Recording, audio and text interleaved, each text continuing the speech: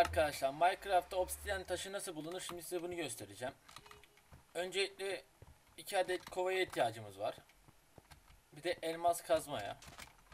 Çünkü elmas olmadan çıkmıyor. Şuradan kovalarımıza su dolduralım. Üçünü birden dolduralım. Sonra şöyle bir bakalım. Lav bulmamız gerekiyor.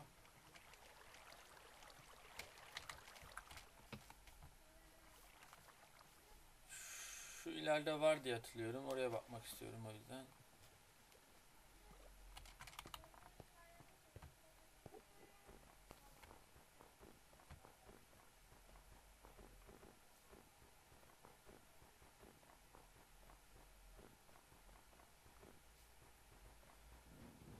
Şurada olması gerekiyor diye hatırlıyorum.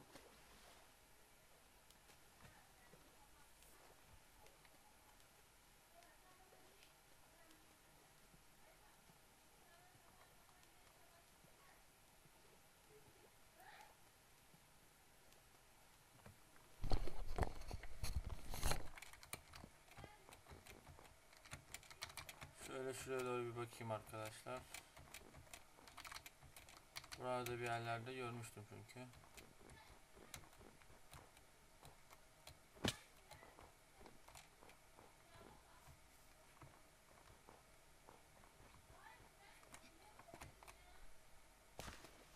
Evet, buradaymış. Şimdi obsidian bloğunu, taşını nasıl çıkaracağız derken lavla suyu birleştirdiğimiz zaman böyle gördüğünüz gibi garip bir eee, karamsal bir şey çıkıyor. Diğer suyu da dökelim. Lav tamamen ortadan kaybolsun. Böyle ışıklarımızı koyalım. Sonra suyu keselim arkadaşlar. Zaten şuradan su geliyormuş. Onu da kapatalım. Alta doğru mağara var. Oraya doğru gidiyor. Bize musallat olmadan biz onu şuradan def edelim. Obsidian taşına gelelim arkadaşlar. Bunlar obsidian taşı oluyor. Ve bunlar normal demir kazma ile kazılıyor ama bloğunu vermiyor. Yani hiçbir şey çıkmıyor. Boş çıkıyor ve uzun sürüyor. Şu anda demir kazma ile deniyoruz arkadaşlar.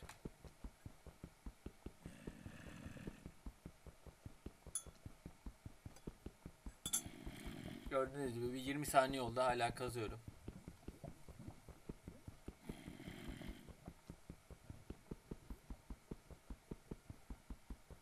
Şu anda bitmek üzere arkadaşlar kırılacak.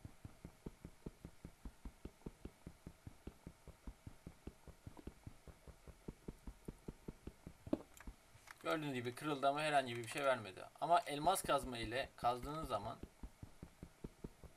Böyle devam edelim. Hem yarı yarıya süre fark ediyor. Zaten ka- e, demir kazma ile bir şey vermediği için. Gördüğünüz gibi bir tane obsidyen bloğu elde ediyoruz taşı.